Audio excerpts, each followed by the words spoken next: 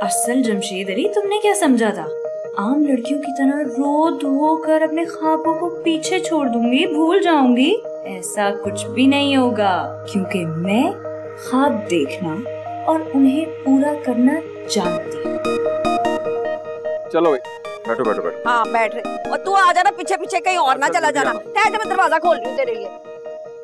नजाकत Ali easy ले रही हो मुझे? मोहब्बत ज़रूर करता हूँ तुमसे, लेकिन इसे कमज़ोरी बनने नहीं दूँगा अपनी। एक दफ़ा बेटा, ये शादी का हंगामा तो खत्म हो, फिर बताता हूँ तुझे।